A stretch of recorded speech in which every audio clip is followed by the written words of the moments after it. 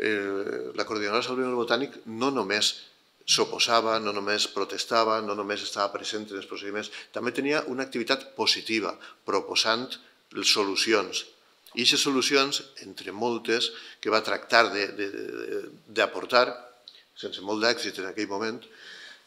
una d'elles va ser aquesta, la proposta esta que es diu Idees per a una oportunitat, de l'any 1999. L'oportunitat era l'oportunitat del bicentenari del botànic, que en eh, 1802